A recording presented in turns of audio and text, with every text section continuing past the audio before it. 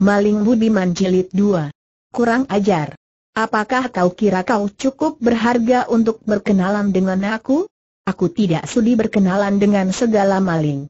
Sekarang rasakanlah kehebatan pedangku sambil berkata begitu, Nona itu lalu mencabut pedangnya dan mengirim serangan hebat, lupa akan ucapannya tadi yang memandang rendah Tan Hang karena sekarang ia pun maklum bahwa maling kecil ini mempunyai kepandaian tinggi dan amat tangguh. Kini Tan Hang yang sibuk mengelak ke sana kemari karena ilmu pedang nona itu benar-benar luar biasa dan jauh lebih hebat daripada sekalian lawan yang pernah dijumpainya. Ia tahu bahwa kalau ia bertahan terus, ia tentu akan roboh, maka apa boleh buat, ia mengambil keputusan hendak lari. Pada saat itu, terdengar suara orang, Lanji, jangan kau menyerang orang yang bertangan kosong dengan mempergunakan senjata gadis itu melompat mundur dengan muka malu, sementara itu Tan Hong diam-diam memuji kehebatan orang yang baru datang itu, karena ia sama sekali tidak mendengar langkah kakinya. Hi, anak muda, Bukankah kau Gin Kiam gitu tiba-tiba orang yang baru datang itu bertanya. Tan Hang membalikan tubuh dan memandang. Ternyata orang itu adalah seorang tua dan ketika ia melihat lebih teliti, alangkah heran dan terkejutnya karena orang ini tidak lain adalah orang tua yang berpantun di dalam kamar tadi. Bajunya masih baju sastrawan yang lebar dan besar itu dan lagaknya masih lemah lembut seperti seorang sastrawan tulen. Dan yang membuatnya makin terkejut lagi adalah ketika ia melihat bahwa tangan orang itu memegang sebatang pedang yang tidak lain adalah pedangnya sendiri yang dicuri orang tadi. Tan Hang tidak berani berlaku sembrono karena maklum bahwa ia menghadapi seorang tokoh yang berilmu tinggi, maka ia lalu memberi hormat dan berkata, Xiao Te yang rendah dan bodoh dengan tak sengaja telah mengganggu Cian Poe, kini tak lain hanya menanti jatuhnya hukuman Ha, Ha, ha, anak muda. Kau terlalu merendah. Setelah dapat menghadapi anakku sampai sekian lamanya, boleh diukur ketinggian ilmu silatmu. Nah, ini terimalah pedangmu kembali dan coba kau hadapi ilmu pedang anakku, hendak kulihat sampai di mana kehebatan Gin Kiam gitu setelah berkata demikian, Orang tua itu menggerakkan jari-jari tangannya dan tahu-tahu pedang Tang Hang sudah melayang terus meluncur ke arah dada pemuda itu. Tan Hang tahu bahwa orang sedang menguji kepandaiannya, maka ia lalu mengulurkan tangan kanan sambil merendahkan diri dan berhasil menyambut gagang pedangnya sendiri yang hendak makan tuan.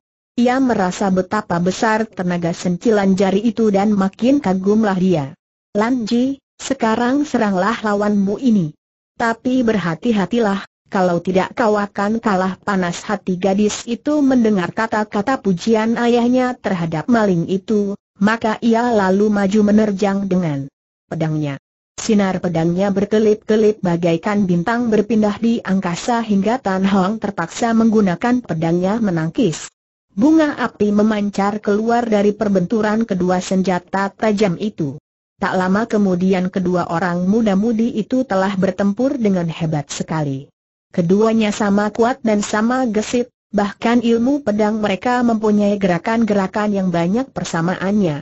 Tan Hang makin kagum dan gadis itu pun kini tahu akan kehebatan Tan Hong hingga ia tidak berani memandang rendah lagi.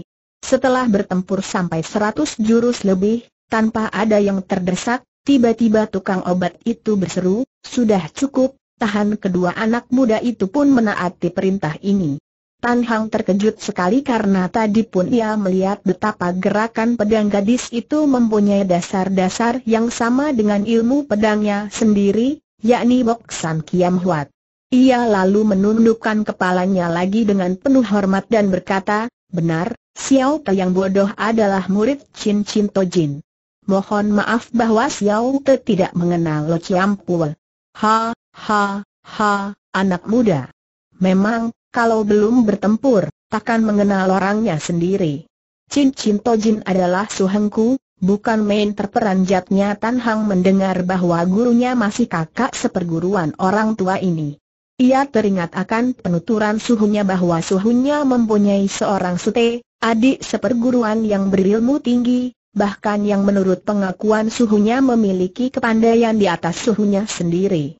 Segera Tan Hang menjatuhkan diri berlutut, ampunkan Teocu, bukankah Susyok ini yang bernama Lo Chin Ki dan terkenal dengan nama Jian Jiao Sin Eng, Garuda Sakti berkuku seribu kakek itu tertawa lagi terbahak-bahak, benar, akulah orang Silo itu, bagaimana dengan suhumu?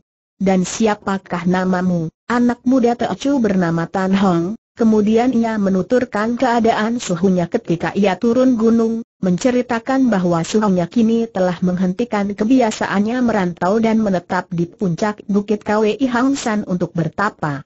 Si Garuda Sakti menghela napas.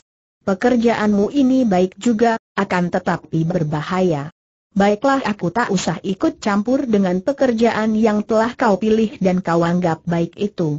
Bagiku segala perbuatan itu baik saja, asal ditujukan untuk kebaikan. Kau telah mengambil obat yang keliru dan kalau kau menghendaki obat untuk menolong penduduk di Cintong, pergunakanlah obat ini Lo Cinki lalu mengeluarkan sebungkus obat bubuk dari saku bajunya yang lebar dan memberikannya kepada Tan Hong. Dengan muka merah karena malu, Tan Hong menerima obat itu dan ia tidak berani membawa kantong-kantongnya. Akan tetapi, Susyoknya hanya mengambil kembali jinsom yang tidak perlu dibawa itu dan menambahkan obat dan uang seratus sel lagi sambil berkata, terus terang saja, kami bukanlah orang kaya yang dapat menyumbangkan uang. Akan tetapi, biarlah dengan sedikit uang ini aku dapat membantu melancarkan pekerjaanmu itu bukan main rasa malunya Tan Hong, karena Susyoknya itu berkata dengan setulus ikhlas hati. Ia menerima pemberian itu dan setelah menghaturkan terima kasih, ia lalu berdiri dan memberi hormat kepada gadis tadi, mohon dimaafkan kekasaranku, gadis itu memandang dengan masih marah, akan tetapi ayahnya berkata, Solan, kau harus memberi hormat kepada suhengmu ini terpaksa Solan menjura pula, tapi tak berkata sesuatu. Hatinya masih mendongkol dan panas, dan ia merasa malu mempunyai seorang suheng pemaling. Tan Hang dapat menyelami perasaan gadis itu, maka dengan hati berat dan menyesal ia lalu melompat pergi untuk menjalankan kebiasaannya membagi-bagi uang dan juga obat yang didapatnya dari susyoknya itu.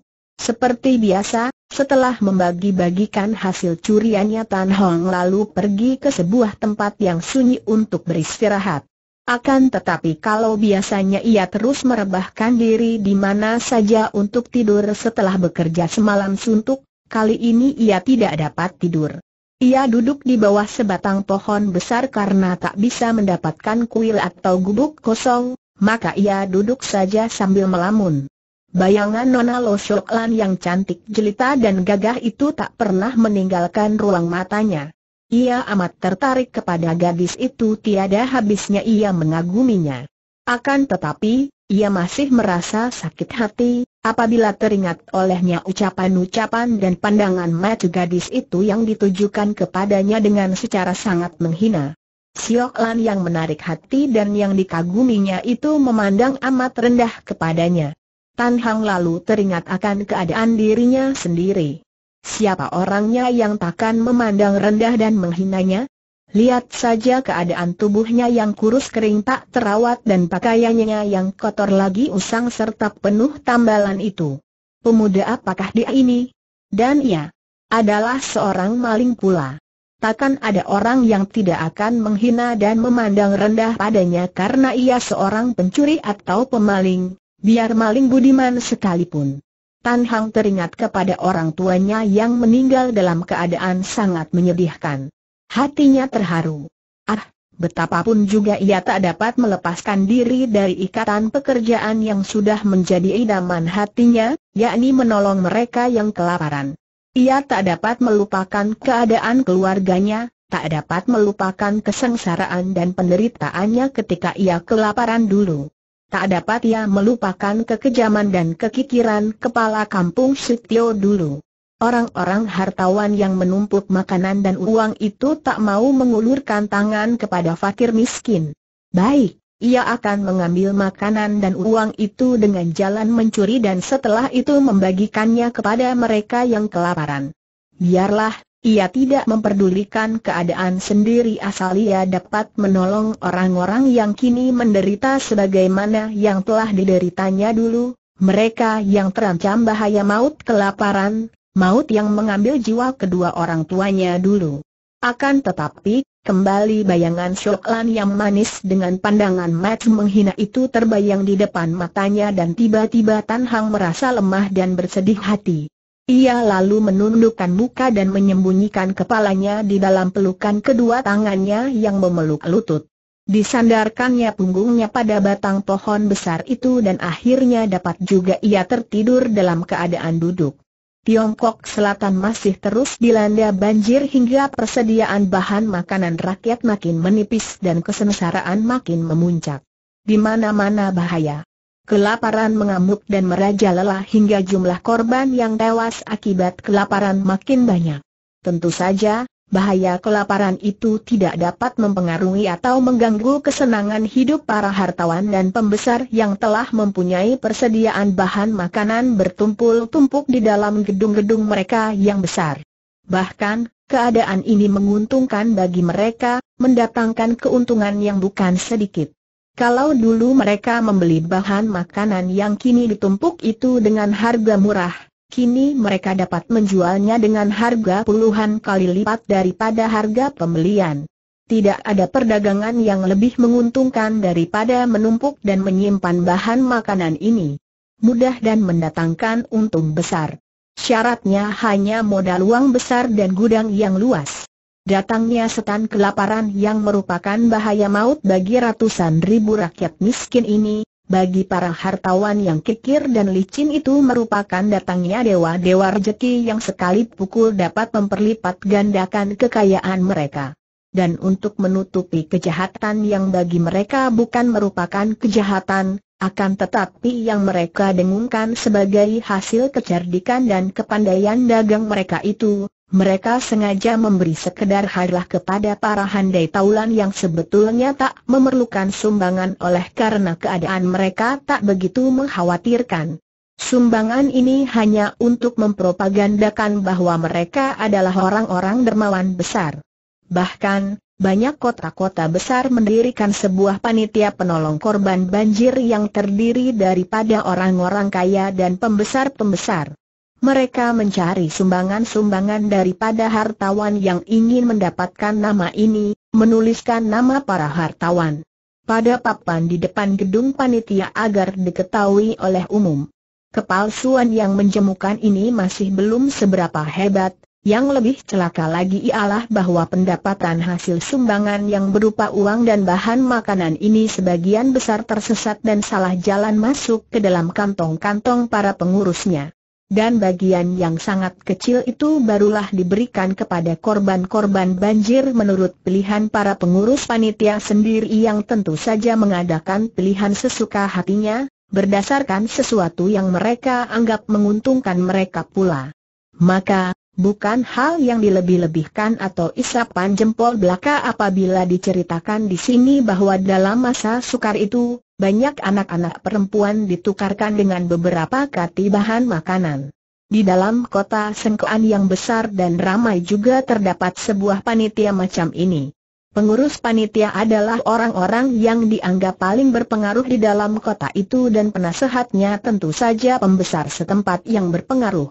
Oleh karena itu di daerah Sengkoan ini sering kali terjadi kekacauan dan perampokan yang dilakukan dengan dekat oleh orang-orang yang hampir mati kelaparan, maka sebagai penjaga dan pelindung panitia ini, diangkatlah tiga orang pembesar yang menjadi cabang atas atau jagoan kota Sengkoan. Tiga orang pendekar ini dijuluki Sengkoan Semeng atau tiga orang pendekar dari Sengkoan. Akan tetapi, oleh karena sepak terjang mereka yang tidak sesuai dengan sikap pendekar-pendekar, terlampau membanggakan kepandaian mereka dan tidak segan-segan memukul dan menindas orang-orang yang lemah, maka julukan mereka itu diam-diam dirubah oleh orang-orang menjadi Sengkoan Sam KWI atau tiga setan dari Sengkoan. Setelah diangkat menjadi pengurus dan pelindung panitia penolong korban banjir, Ketiga jagoan ini lalu mempergunakan kesempatan itu untuk melakukan pemerasan dan perampasan berkedok minta sumbangan. Pada suatu hari, terlihat banyak orang berkerumun di depan sebuah toko yang menjual hasil bumi. Ternyata bahwa telah terjadi percekcokan antara pemilik toko yang bernama Gui San dan seorang di antara Sengkoan Samkui. Gui San adalah seorang pedagang muda yang berdarah panas dan juga mempunyai hati berani dan tabah, oleh karena biarpun tidak sempurna benar, akan tetapi ia pernah belajar silat di bawah pimpinan orang pandai. Ia baru beberapa bulan tinggal di Sengkoan, maka ia belum kenal betul akan kehebatan Sengkoan Sam dan berani melawan ketika seorang di antara tiga jagoan ini datang minta sumbangan dengan paksa. Orang menyumbang harus berdasarkan hati rela dan suka, sama sekali tidak mungkin diharuskan dan ditentukan besar jumlah sumbangannya. Biarpun menyumbang sedikit, asal memberinya dengan senang dan rela hati, seharusnya diterima dengan baik. Mana ada aturan minta sumbangan dengan secara paksa Gui San berkata dengan suara keras sambil bertolak pinggang menghadapi Ben Hui, saudara termuda daripada Sengkoan Sam KWI. Ban Hui bertubuh tinggi besar dan bermuka hitam dan adatnya keras sekali. Mendengar ucapan orang yang disertai muka merengut dan marah, ia pun menjadi marah sekali. Sambil menuding dengan jari telunjuknya ke arah hidung Gui San, Ban Hui memaki, orang si Gui, jangan kau membuka mulutmu yang lebar dan busuk itu. Kau harus tahu bahwa sekarang ini musim apa. Kau adalah seorang pedagang, maka apa artinya bagimu menerima seratus kantong gandum untuk mereka yang sengsara? Karena banjir. Kau hidup terlalu kikir hingga kelak kau akan mati seperti seekor anjing. Kau tak mau menerima dan menolong mereka yang menderita, apakah kau hendak makan semua gandummu itu? Betapapun kaya dan kikirmu, yang kau makan tiap hari tak lebih hanya semangkok saja. Apa kau mau mati ditimbuni kekayaanmu bukan main marahnya Gui San mendengar orang memaki-makinya. Ban Hui.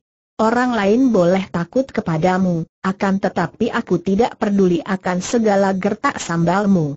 Jangan kau pura-pura menjadi orang budiman dan berhati pengasih. Ketahuilah, aku hendak menyumbang sepuluh kantong gandum adalah terbit dari hati kasihanku kepada mereka yang menderita, biarpun hanya sepuluh kantong gandum, akan tetapi hendakku berikan dengan tulus ikhlas. Sedangkan kau ini apa? Kau mengeluarkan kata-kata seakan-akan kau seorang dewata yang berhati suci murni, akan tetapi semua orang tahu bahwa ke kantong siapa semua sumbangan itu lari? Ban Hui, jangan kau menjual lagak di sini, aku bukan anak kecil. Sepak terjangmu sudah ku ketahui betul-betul. Pendeknya, Aku hanya mau menyumbang sepuluh kantong gandum kepada panitia, kau sebagai pesuruh panitia tinggal mau terima atau tidak. Kalau mau terima, baik. Kalau tidak mau, tidak apa Ban Hui membelalakan kedua matanya dan mukanya yang hitam itu menjadi hitam lagi. Bangsa terendah, kau harus dihajar tahu adat setelah berkata begitu, Ban Hui melompat dan menyerang dengan pukulan Taisan Apteng, Bukit Taisan menimpa. Guisan yang berhati tabah itu cepat mengelak dan tiba-tiba ia mengangkat sebuah bangku dan hendak memukul kepala si muka hitam dengan bangku itu. Wajahnya merah, matanya berapi-api. Melihat hal ini, orang-orang yang berkerumun di situ dan yang mengkhawatirkan keselamatan Guisan, segera datang mencegah dan memisahkan. Kedua orang itu masih bersitegang tidak mau mengalah dan menyudahi perkara itu sampai di situ saja. Pada waktu mereka masih meronta-ronta dalam pegangan orang banyak, tiba-tiba terdengar bentakan orang. Eh, eh, ada apa ini? Semua orang mundur karena yang membentak ini adalah seorang pendek kecil, akan tetapi yang mempunyai sikap dan gaya yang sangat gagah. Inilah Ban Xiao, saudara kedua daripada Sengkoan Sam KWI, seorang yang memiliki kepandaian silat tinggi dan yang sikapnya lebih halus daripada kedua saudaranya, akan tetapi semua orang tahu bahwa di balik sikap yang halus itu, bersembunyi sifat seekor serigala yang jahat dan kejam. Ketika mendengar duduknya persoalan, Ban Xiao memandang kepada Gui San dengan tetap tersenyum, akan tetapi sepasang matanya mengeluarkan pandangan yang menakutkan. Gui Chongsu, kau benar-benar gagah berani.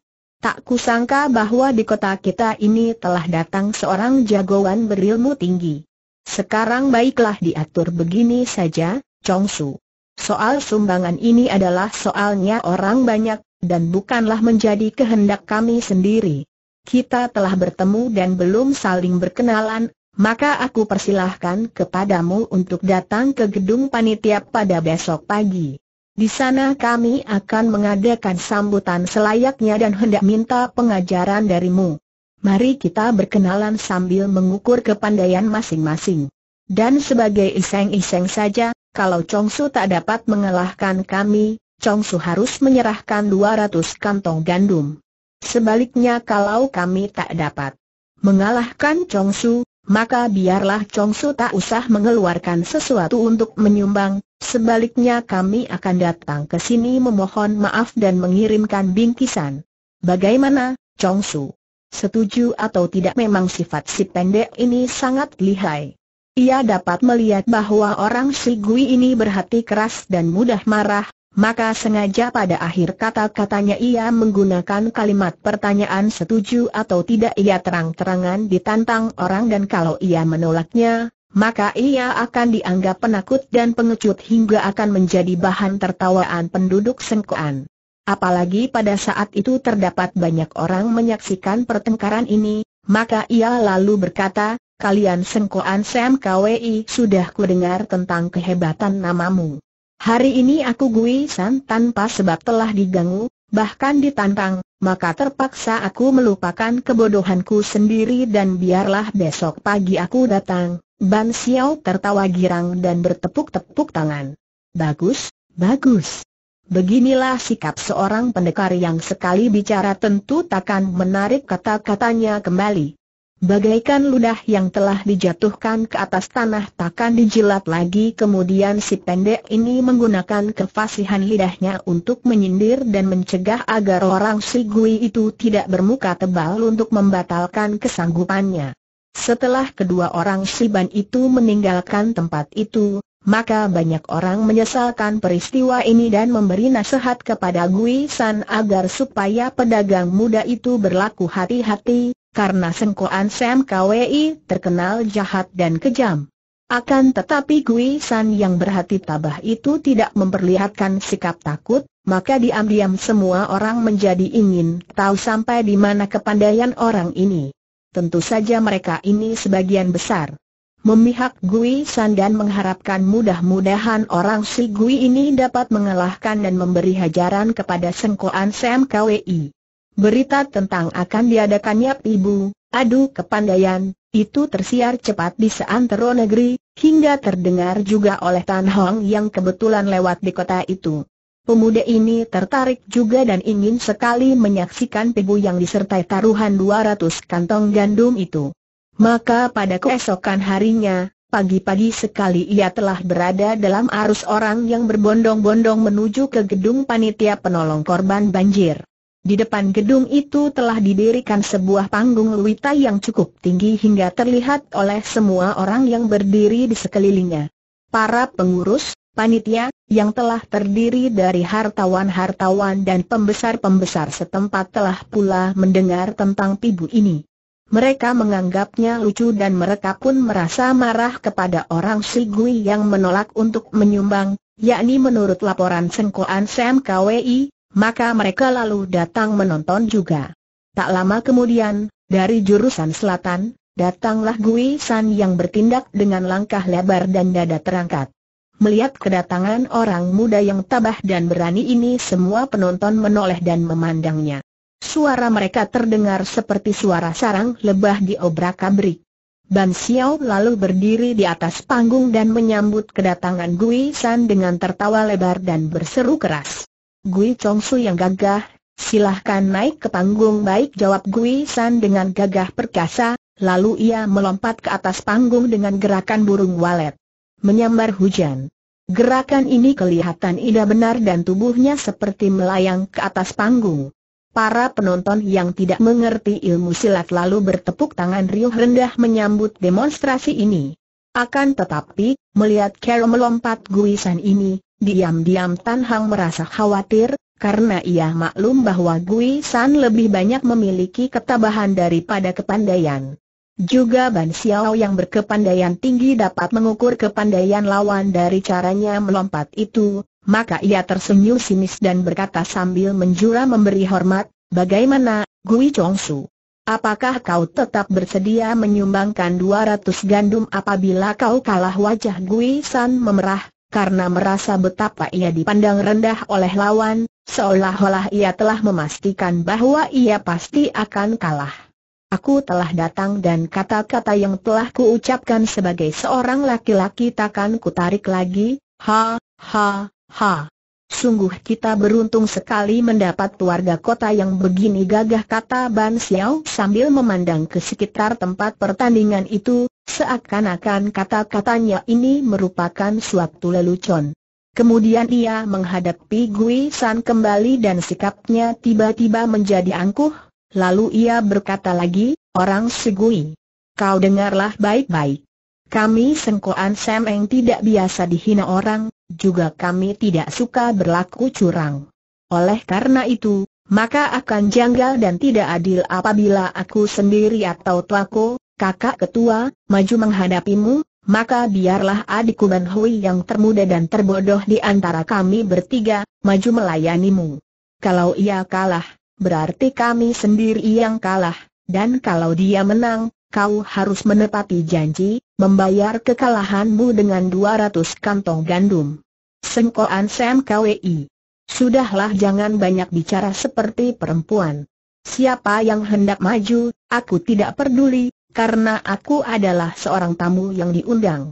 Apa saja yang hendak dihidangkan oleh tuan rumah, akan kulayani dengan baik secara diam-diam Tan Hang merasa simpati kepada Gui San, sekalipun ia mudah marah, akan tetapi benar-benar pemberani yang jujur.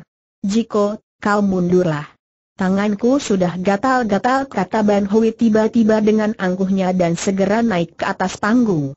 Ban Xiao tertawa bangga, lalu mengundurkan diri. Nah, orang Segui.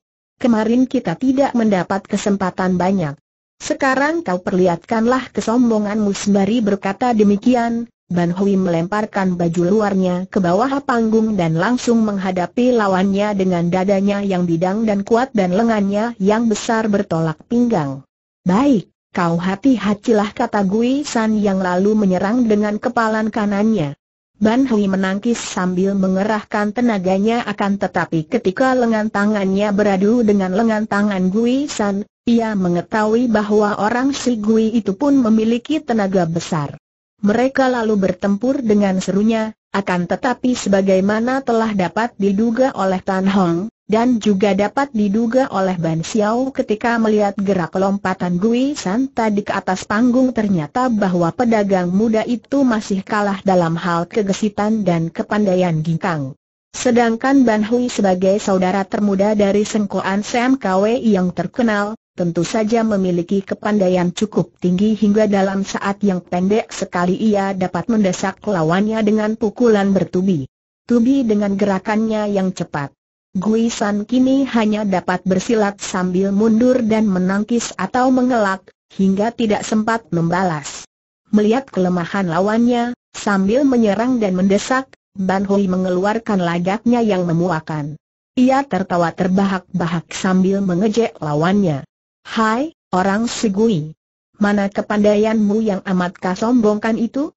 Sudahlah, kau menyerah saja dan cepat serahkan 200 karung gandum itu daripada kepalamu nanti kena kupukul sampai picak Gui San menjadi marah sekali hingga gerakannya makin kalut. Ia terus terdesak mundur sehingga akhirnya ketika ia mengelak dari sebuah pukulan ke arah dadanya, kakinya menginjak tempat kosong di pinggir panggung. Pukulan Ban Hui masih tetap mengenai pundaknya dan akhirnya tubuhnya terbanting ke bawah panggung. Para pengurus pertandingan itu bersorak-sorak dan tertawa geli melihat hal ini yang mereka anggap lucu juga, sebaliknya para penonton yang terdiri dari penduduk kota Sengkoan merasa kecewa sekali. Kendati pun demikian mereka tentu tidak berani memperlihatkan sikap menentang kepada Sengkoan Sam KWI, maka mereka pun lalu bertepuk tangan memuji. Dengan lagak sombong dan hui lalu menjura memberi hormat kepada orang sekelilingnya dengan lagak sebagai seorang jagoan besar yang baru saja menang berkelahi. Kemudian ia mendapat sebuah pikiran yang terbit dari adat sombongnya. Cui, cuan-cuan sekalian, yang terhormat. Dengan jatuhnya orang Shigui itu, bukan berarti satu keuntungan bagiku, akan tetapi panitialah yang untung karena mendapat tambahan sumbangan sebanyak 200 karung gandum. Kami bertiga Sengkoan Sameng selalu berusaha untuk mengumpulkan barang sumbangan sebanyak mungkin, demi kepentingan para korban banjir yang menderita sengsara. Maka, pertunjukan kali ini anggaplah sebagai hiburan dan apabila di antara saudara-saudara sekalian ada yang berminat hendak naik di atas panggung ini, kami silahkan. Akan tetapi syaratnya harus bertaruh, demi kepentingan panitia yang berusaha membantu para korban berdasarkan peri kemanusiaan yang luhur mendengar kata-kata ini, panitia pertandingan bertepuk tangan menyatakan kegembiraannya. Penonton saling pandang dan saling berbisik. Tapi siapakah orangnya yang berani naik ke panggung untuk main-main dengan tiga setan dari sengkoan itu? Karena Ban Xiao mendapat firasat yang kurang baik, maka ia lalu naik ke panggung menggantikan adiknya. Saudara-saudara sekalian, mungkin kata-kata adikku tadi kurang tepat dan juga kurang adil. Karena siapakah yang berani melawan dia yang tinggi besar itu? Bahkan Gui Chong Su sendiri pun tidak bisa melawannya. Aku mempunyai usul lain yang lebih bagus dan menarik. Lihat tubuhku yang kecil pendek ini. Nah, sekarang siapa saja yang berani naik ke panggung ini, diperbolehkan memukul aku dengan tangan kosong. Sekali pukul harus membayar sepuluh karung gandum. Ayo, siapa mau ikut serta di antara penonton banyak yang mendongkol melihat kesombongan ini, akan tetapi biarpun ada yang ingin memukul juga, siapa orangnya yang berani mencoba-coba? Kalau yang dipukul tidak apa-apa, pemukulnya akan mendapat malu dan mengeluarkan sepuluh karung gandum tiap pukulan. Sedangkan andai kata pemukulnya dapat melukai dan membinasakan Ban Xiao, apakah hal ini tidak akan menimbulkan permusuhan hebat? Dan siapakah gerangan yang berani bermusuhan dengan mereka? Semua orang dapat menduga bahwa tak seorang pun yang akan berani menantangnya. Tetapi tanpa dinyana tiba-tiba seorang dari penonton yang berdiri di depan, Terdengar berteriak, aku hendak mencoba semua orang memandang dan mereka melihat seorang pemuda berpakaian serba hitam menaiki panggung. Ia tidak melompat sebagaimana biasanya seorang ahli silat menaiki panggung, akan tetapi mengambil jalan memutar dan menaiki panggung melalui anak tangga yang dipasang untuk para hartawan. Dengan demikian, pemuda itu menuju ke panggung sambil melewati tempat duduk para hartawan dan pembesar. Sikapnya sopan sekali, tampak ketika ia lewat di dekat para hartawan itu, ia menundukkan kepala memberi hormat ke kanan dan ke kiri dengan tubuh setengah membungkuk. Pemuda itu adalah Tan Hong dan munculnya secara mendadak itu menimbulkan bermacam-macam tafsiran. Tak seorang pun yang berada di situ yang pernah melihat pemuda ini. Wajah Tan Hong yang kurus dan pakaiannya yang usang penuh tambalan itu tidak mendatangkan kesan yang mengagumkan, maka semua penonton hanya tertawa geli dan menganggap bahwa pemuda itu tentulah seorang pemuda terlantar yang telah berubah ingatannya karena menderita kelaparan. Juga Ban Xiao merasa kurang senang melihat bahwa yang naik itu adalah seorang yang lebih tepat disebut jembel. Hi, anak muda. Kau naik ke sini mau mengapa tanyanya dengan sombong sambil menahan amarahnya. Apalagi kalau bukan hendak memenuhi usulmu tadi. Ban Xiao tertawa keras dan mengejek, jembel muda. Kau sendiri agaknya telah tiga hari tiga malam belum makan. Apakah orang seperti kau ini pula kelak dapat memberikan sumbangan sepuluh karung gandum sebagai taruhan, andai kata kau kalah semua orang tertawa mendengar kata-kata ini, lebih-lebih lagi di antara para hartawan yang bertubuh gemuk tertawa terbahak-bahak sambil memegangi perutnya yang gendut menahan tertawanya. Akan tetapi serta-merta wajahnya menjadi pucat dan tertawanya lenyap berganti dengan kebingungan ketika ia merasa bahwa kantong uang emas yang tadi digantung di bawah bajunya telah lenyap. Ia meraba-raba di sekeliling tubuhnya, akan tetapi benar-benar kantong uangnya telah tak ada. Tak seorang pun melihat kebingungannya ini dan ia pun tidak berani membuat ribut, karena merasa malu dan ragu-ragu karena kalau-kalau kantong uangnya itu ketinggalan di rumah. Maka ia lalu menonton lagi, akan tetapi kini tak sanggup tertawa seperti tadi, karena kegembiraannya telah ikut lenyap bersama dengan lenyapnya kantong berharga itu. Sekalipun ia telah dihina dengan perkataan yang tak wajar oleh Ban Xiao di muka penonton banyak itu, namun Tan Hong tetap tersenyum dan dengan tenang ia mengeluarkan kantongnya yang berwarna kuning dari balik bajunya. Kantongnya itu kini telah berisi barang-barang yang berat dan ketika ia membuka tutupnya dan menumpahkan isinya ke atas panggung, Ban Xiao melongo. Ternyata isi kantong itu adalah uang emas dan perak yang banyak sekali jumlahnya. Kawan pendek, aku tidak punya beras, akan tetapi agaknya uangku ini sudah cukup untuk membeli gandum sebanyak ribuan karung. Boleh, boleh, dibayar uang juga boleh kata Ban Xiao. Sementara itu, tidak hartawan gemuk itu saja yang kelihatan bingung, akan tetapi empat orang hartawan lainnya lebih bingung lagi, karena kehilangan uang bekalnya yang banyak jumlahnya itu yang telah dicuri orang dari kantong baju mereka. Kini melihat betapa pemuda jembek itu membawa uang demikian banyaknya, mereka sangat curiga, akan tetapi apakah buktinya untuk memperkuat kecurigaan mereka? Tan Hang tersenyum. Sabar, kawan. Segala taruhan harus jangan berat sebelah. Dengarlah, kalau kau dan dua orang saudaramu yang terkenal dengan sebutan tiga setan dari sengkoan itu dapat merobohkanku di atas panggung ini, seperti yang telah dilakukan oleh adikmu terhadap orang gagah si Gui tadi, kau boleh ambil semua uangku ini akan tetapi, bagaimana kalau kalian setan bertiga ini dapat kurobohkan? Apakah taruhanmu suara para penonton terdengar riuh rendah bagaikan lebah dibubarkan, mendengar tantangan pemuda aneh ini?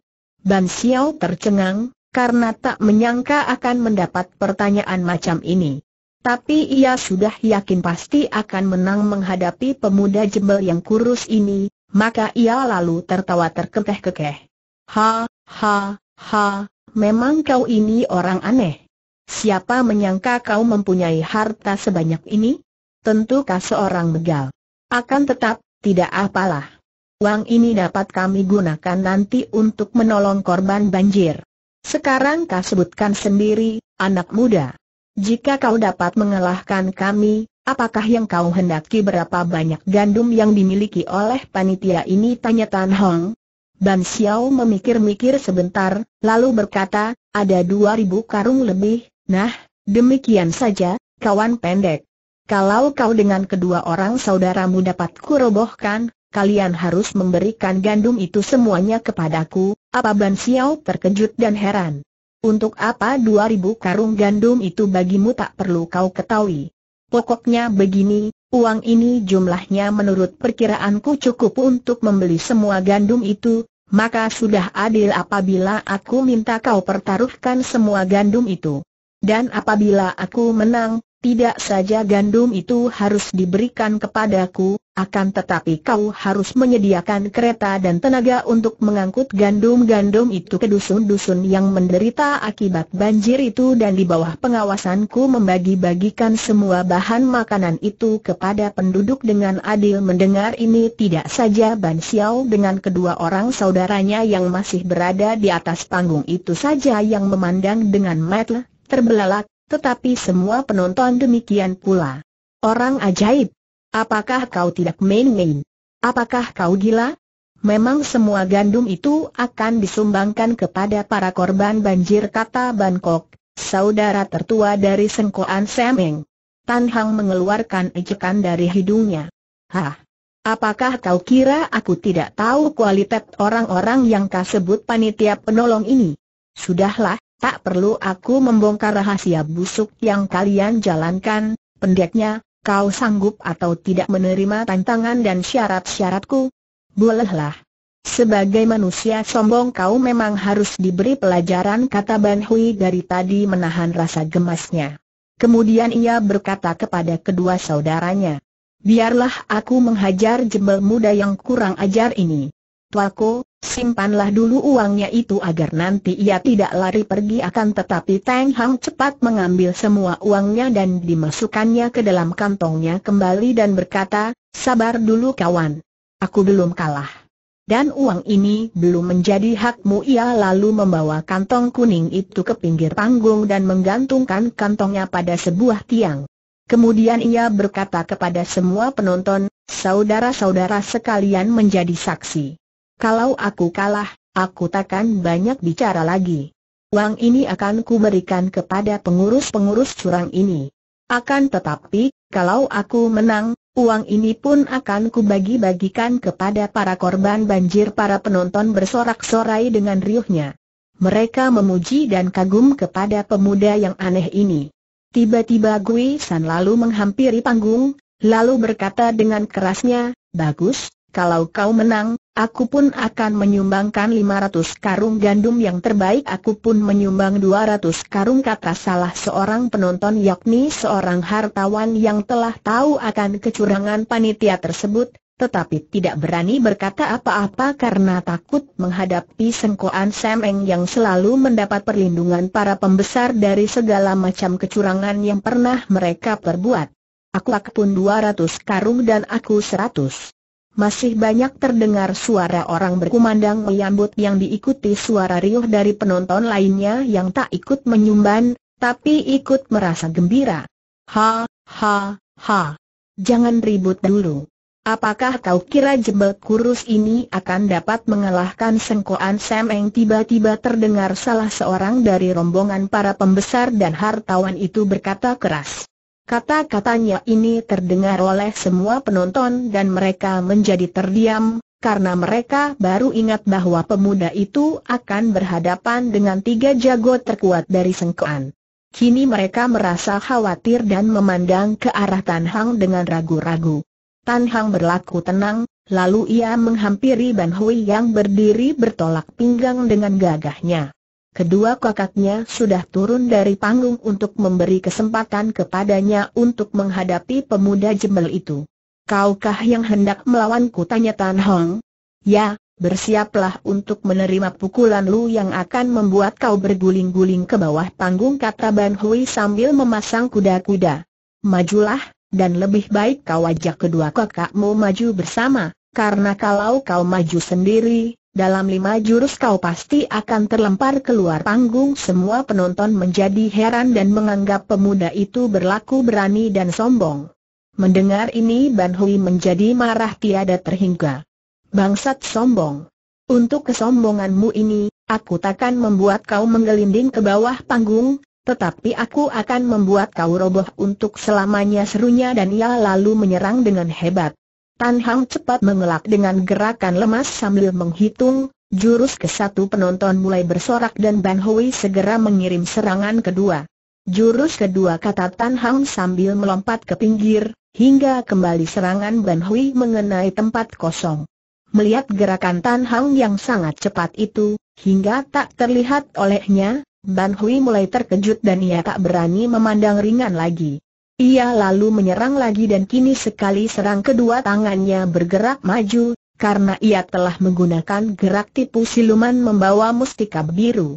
Akan tetapi, Tan Hang menganggap serangan ini sebagai permainan anak-anak saja.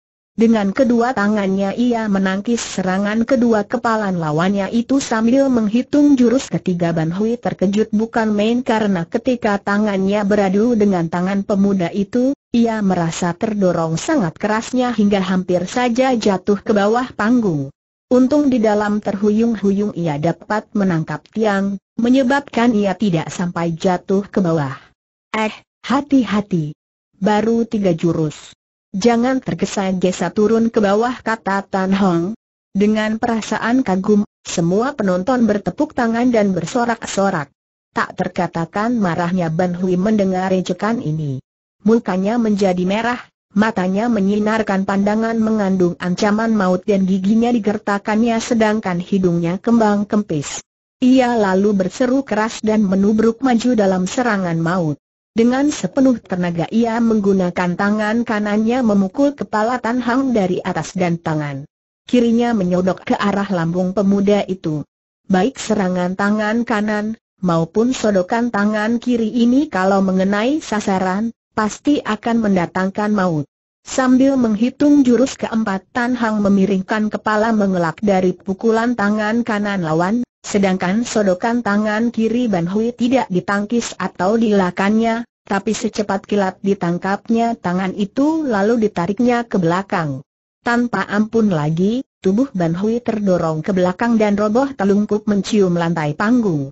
Nah, nah, dalam jurus ini kau mencium lantai panggung, tapi dalam jurus kelima kau akan mencium tanah di bawah panggung Tan Hang mengejek lagi sedangkan para penonton karena girangnya tertawa geli dan bertepuk tangan dengan riuhnya. Pada saat itu, Bangkok dan Ban Xiao yang melihat betapa adik mereka dipermainkan lawannya, lalu melompat ke atas panggung dengan sikap mengancam. Aha, dua iblis tua ini sungguh cerdik. Rupanya kau tahu bahwa adikmu akan benar-benar terlempar keluar panggung kata Tan Hang sambil bergurau, tapi ia tetap waspada. Bangsat hina gina. Bersedialah untuk mampus teriak Ban Xiao dengan geramnya dan ia segera maju menyerang bersama dengan kakaknya. Sedangkan Ban Hui juga melompat bangun dan ikut menyerang. Ah, ha, bagus. Tiga iblis sekarang kemasukan setan dan mengamuk. Bagus Tan Hang mempergunakan kegesitannya yang luar biasa dan tubuhnya seakan-akan dapat menyusup di antara sekian banyak kepalan dan tendangan yang dilancarkan dengan hebat dan bertubi-tubi ke arahnya. Semua penonton kini tidak berani bersorak lagi karena mereka merasa sangat khawatir sekali melihat keadaan Tan Hong, Siapa orangnya yang dapat bertahan menghadapi keroyokan ketiga iblis itu? Mereka menonton pertempuran itu sambil menahan napas. Tan Hang yang sedari tadi merasa sangat benci dan gemas kepada Sengkoan Sam Kui ini lalu memperlihatkan kepandaiannya. Ketika tubuhnya melayang berputar-putar melakukan serangan pembalasan dengan gerak tipu terhebat dari ilmu silat Engkau Heng Lian Huat, maka terdengar pekik kesakitan. Ternyata Ban Hui serta Ban Xiao kena terdorong roboh. Masih untung bagi kedua orang itu, karena Tan Hong tak bermaksud mencelakakan mereka, maka serangan yang seharusnya dilakukan dengan kepalan kedua tangannya itu dirubah menjadi dorongan dengan tangan terbuka, hingga kedua orang itu walaupun berguling-guling di atas panggung, namun tidak menderita luka-luka, hanya kepala mereka saja bengkak-bengkak karena beradu dengan papan yang keras. Kini riuh rendahlah sambutan penonton. Ketiga saudara Ban itu bertambah marah dan bersamaan dengan itu mereka mencabut pedang mereka. Bangsa rendah. Kalau hari ini kami tidak dapat membunuh kau, jangan panggil kami Sengkoan Sam Eng lagi teriak Ban Pok. Baik. Mulai hari ini kalian akan ku sebut Sengkoan Sam Ti, tiga babi dari Sengkoan, tentu saja hinaan ini menimbulkan suara tertawaan dari penonton. Mendengar hinaan ini ketiga saudara Ban itu makin bertambah marah. Pedang mereka bergerak seperti kilat menyambar ke arah tubuh Tan Hong. Dalam kemarahannya itu, ketiga orang ini lupa akan kesopanan bertibu. Seharusnya mereka tidak boleh menyerang lawan yang belum mengeluarkan senjata. Akan tetapi oleh karena mereka sedang marah dan juga oleh karena mereka maklum bahwa Tan Hang adalah seorang lawan yang tangguh, maka mereka sengaja mendahuluinya tanpa mengenal malu. Melihat kenekatan mereka ini, timbul marah dalam hati Tan Hong. Baik, kalian mencari celaka sendiri tiba-tiba terlihat sinar berkilauan ketika pemuda itu tahu-tahu telah memegang sebatang pedang berwarna putih seluruhnya dan sekali putar saja pedangnya, maka ketiga senjata musuhnya dapat ditangkis semua. Kau, Kau Gin Kiam gitu ujar Bangkok setelah ia melihat pedang ini. Matamu awas juga, orang Siban jawab Tan Hang sambil memutar pedangnya balas menyerang. Mendengar nama ini ketiga sengkoan Sam Eng tiba-tiba menjadi sangat gentar, maka permainan pedang mereka menjadi kacau balau. Apalagi ketika Tan Hang mengubah gerakan pedangnya yang semula hanya mempertahankan diri saja, kini menjadi ganas menyerang dengan tipu-tipu berbahaya, Ketiga pengeroyok itu menjadi terdesak dan terkurung oleh sinar pedang Tan Hong. Pada saat yang tepat, Tan Hong berseru keras, lepaskan pedangmu dan terdengar jerit kesakitan dari ketiga orang pengeroyok ini, disusul dengan terlepasnya pedang mereka dari tangan masing-masing.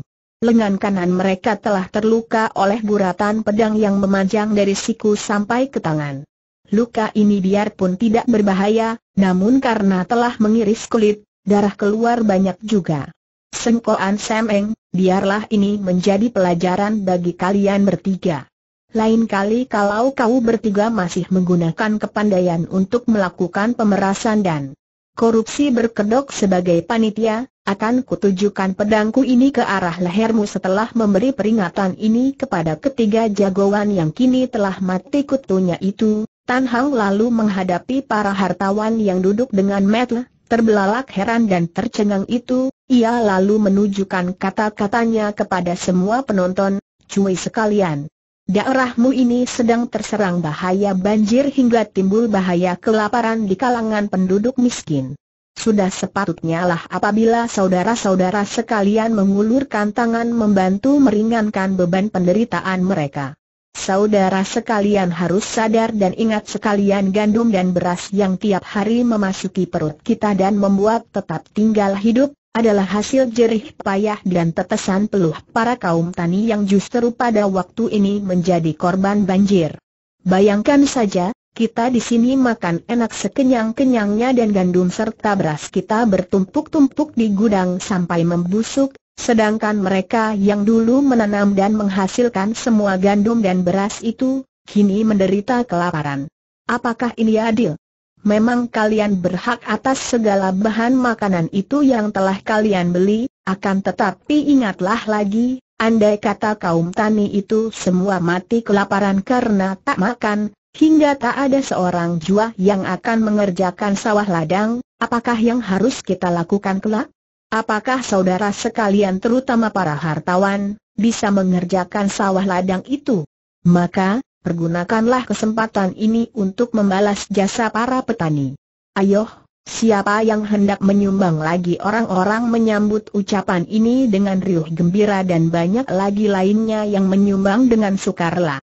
Maka Tan Hong lalu mengumpulkan semua sumbangan itu, dan setelah semua dikumpulkan, maka jumlah gandum yang sudah terkumpul menjadi 3.000 karung lebih.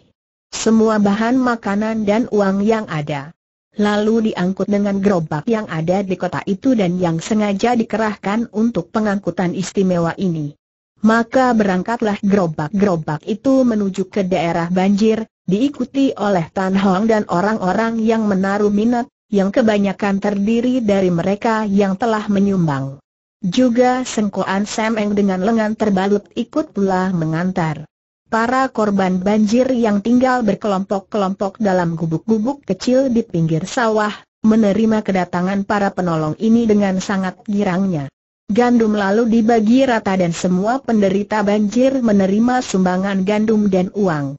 Orang-orang menjadi terharu ketika melihat betapa wajah para korban banjir itu menerima sumbangan ini dengan air mata berlinang, karena bahan makanan yang mereka terima hari ini benar-benar merupakan penyambung nyawa keluarga mereka, dan mereka menjadi sangat heran, karena sumbangan yang diberikan pada mereka yang menderita dengan sukarela, tanpa minta syarat seperti yang biasa berlaku dari si kaya pada mereka.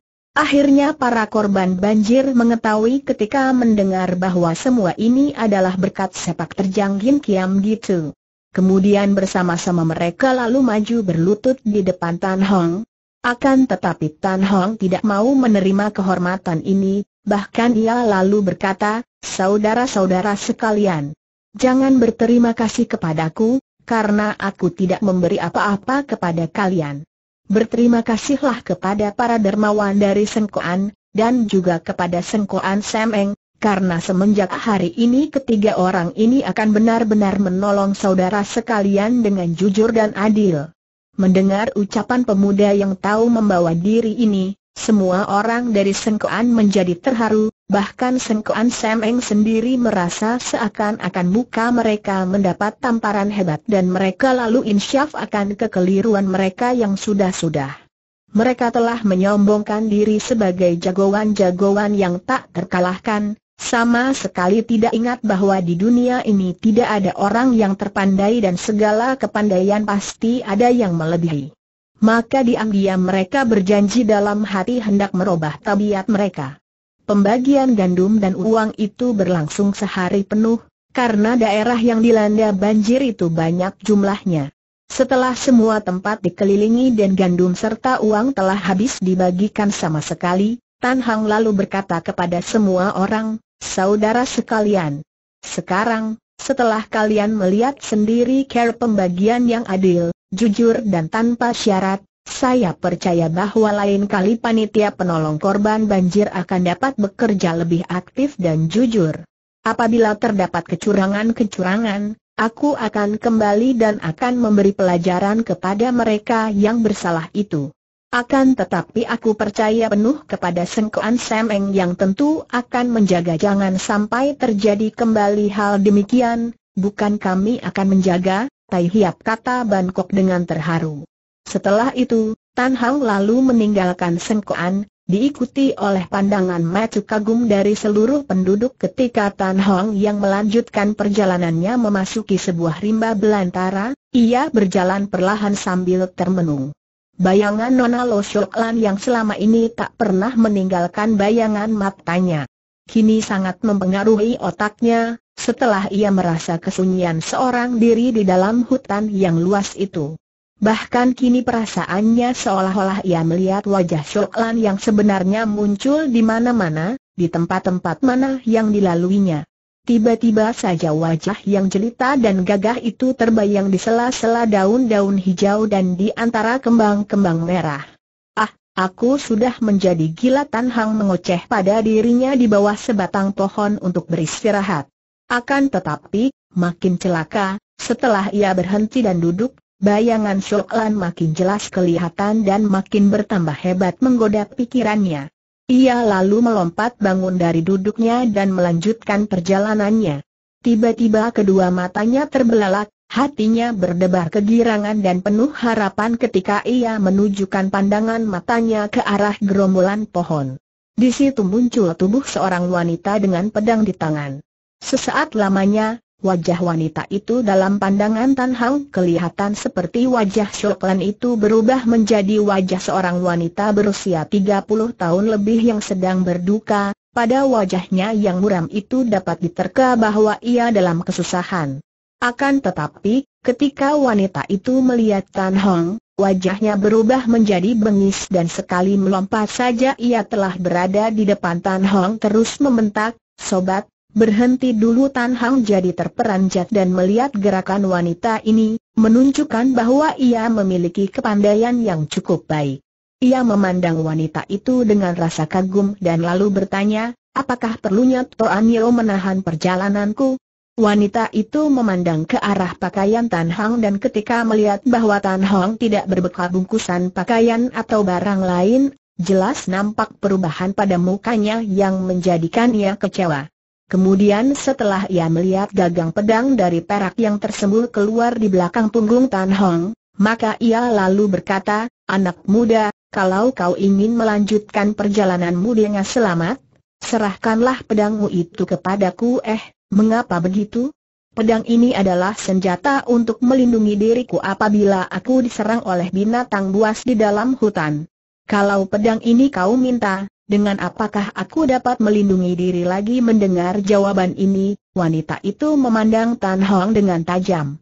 Kalau kau perlu memakai senjata juga, pakailah pedangku ini, dan sebagai gantinya pedangmu itu harus kau berikan kepadaku, mengerti Tan Hong memandang pedang wanita itu, ternyata pedang itu adalah pedang yang telah berkarat dan buruk sekali, agaknya sering kali digunakan untuk membelah kayu. Tanpa disadarinya Tan Hong tertawa geli. Eh, eh, Toan Yo kau ini sedang main-main atau benar-benar hendak merampok jangan banyak bicara hardiknya. Kau serahkan pedang itu atau tidak sambil berkata demikian, wanita itu mengancam dengan ujung pedangnya yang telah tumpul itu. Bagaimanakah memberikannya? Kiranya, jika aku tak mau, akan kupaksa kata wanita, lalu maju menyerang dengan pedang tumpulnya. Akan tetapi serangan ini membuat Tan Hong hampir berseru terkejut karena pedang yang telah tumpul ini dengan tepat sekali menyerang ke arah jalan darahnya. Ah, tak disangkanya bahwa wanita ini adalah ahli Tiam Huat, ilmu menotok jalan darah, maka, ia segera mengelak dengan cepat. Serangan kedua dan ketiga menyusul cepat dan semua serangan tertuju ke arah jalan darah yang berbahaya. Hebat benar Tan Hang memuji dan ia pun segera mencabut pedangnya untuk mempertahankan diri karena ternyata wanita ini betul-betul tangguh. Segera mereka bertempur dengan seru. Tan Hang bersilat dengan hati-hati dan penuh cermat. Ia kagum juga melihat ilmu pedang wanita ini benar-benar hebat, lebih tinggi daripada ilmu kepandaian Sengkoan Semeng. Maka ia melawan dengan hati-hati dan waspada.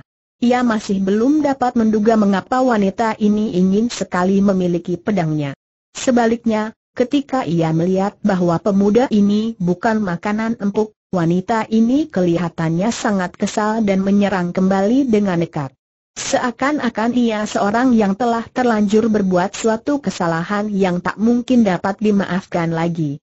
Melihat kenekatan wanita ini, Tan Hang lalu memperlihatkan kepandaiannya, berkelahi dengan menggunakan ilmu pedang Inggo Hang Lian Hoan Kiam Huat yang memiliki gerakan luar biasa. Sebentar saja wanita ini sudah sangat terdesak oleh serangan Tan Hong yang bertubi-tubi itu, hingga akhirnya pedang tumpulnya itu terlempar jauh lepas dari genggamannya. Baiknya tubuh wanita ini tidak cedera atau luka oleh pedang Tan Hong. Anehnya, setelah menderita kekalahan, wanita itu tiba-tiba menjatuhkan diri duduk di atas tanah sambil menangis terseduh-seduh. Tan Hang mengerutkan alisnya dan menyimpan pedangnya. Toanio, kau sangat aneh. Kepandaian dan Kiam Hoat, ilmu pedangmu cukup tinggi, akan tetapi mengapa kau ingin merampas pedangku? Apakah kau suka kepada pedangku ini mendengar suara Tan Hang yang sopan dan lemah lembut? Wanita ini mengangkat mukanya lalu memandang, Eng Hyong, aku, aku tadi memang sengaja hendak merampas pedangmu. Mengapa demikian wanita itu menggelengkan kepalanya? Bukan karena aku suka pedang orang lain, tetapi aku tertarik karena yang kau miliki pedang yang berharga yang mana gagangnya terbuat daripada perak Tan Hong tercengang dan ia memandang penuh perhatian. Ternyata pakaian wanita itu compang-camping dan penuh tambalan, menandakan bahwa ia seorang miskin, sedangkan wajahnya yang kurus pucat menandakan pula bahwa wanita ini tentu terkena penyakit kelaparan. Tiba-tiba, Tan Hang merasa terharu. Toanio, kau hanya ingin mendapat sedikit perak ini? Sampai demikian besar minat kau untuk memiliki perak pertanyaan ini dikeluarkan dengan perlahan dan ragu-ragu. Wajah wanita itu memerah karena malu. Bukan untukku sendiri Tai Hiap, sungguh mati, bukan untukku sendiri, tapi untuk anak-anakku Tan Hang makin tertarik dan kasihan.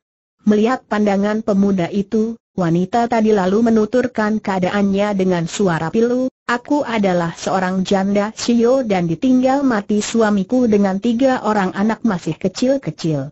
Rumah dan sawah kami habis dilanda air bah. Tidak ada orang yang suka menolong kami, karena mereka yang merasa kasihan kepada kami itu adalah para pengungsi yang senasib dengan kami, sedangkan untuk mengisi perut mereka sendiri pun mereka tak mampu. Sebaliknya para kaum mampu, hanya mau menolong kami dengan syarat-syarat kejinyatan Hang mengangguk-angguk mengerti. Apakah yang bisa dilakukan oleh seorang janda seperti aku? Justru karena anak-anakku menderita kelaparan dan aku tidak bisa mencarikan makannya dengan cara yang wajar, maka terpaksalah aku mencoba merampok.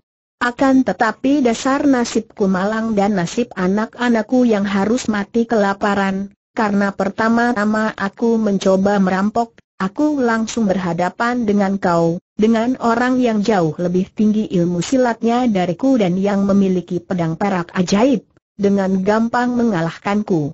Tai Hiap, bunuh sajalah aku agar tamat riwayatku yang penuh derita ini. Aku tidak sanggup pulang ke rumah dengan tangan kosong dan melihat anak-anakku mati kelaparan Nyonya Janda Yu itu lalu menangis terisak-isak. Tan Hang menghela napas dalam-dalam. Lagi-lagi seorang korban bencana banjir. Tiba-tiba ia mendapat sebuah pikiran baik.